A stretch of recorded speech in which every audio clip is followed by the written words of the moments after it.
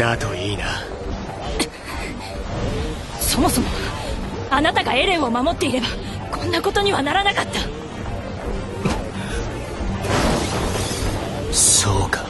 お前はあの時のエレンの馴染みか。目的を一つに絞るぞ。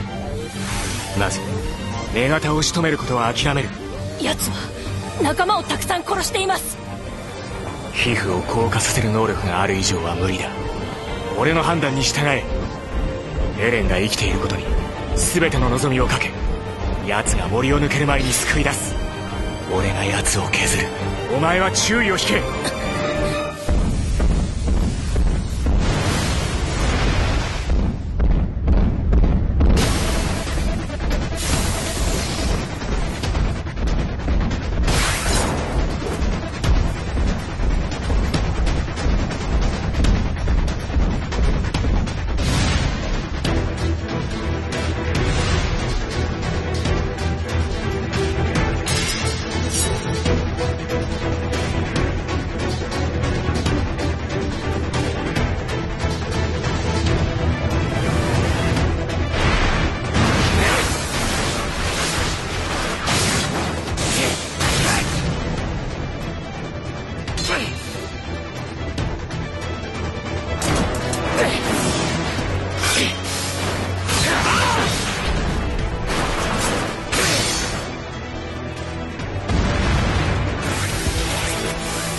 早い早すぎて効果で防ぐ暇もない。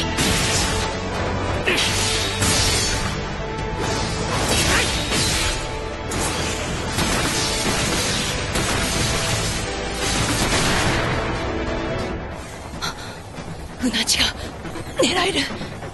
疲弊してる。きっと動けない。殺せる。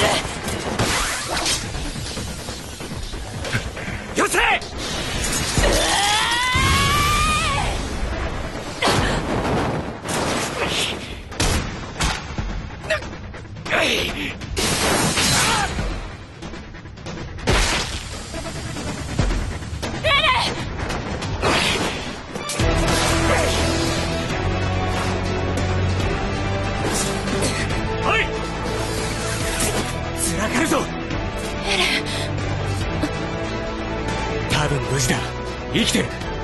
汚ねえがもう奴には関わるな。撤退する。作戦の本質を見失うな。自分の欲求を満たすことの方が大事なのか。お前の大切な友人だろ。違う。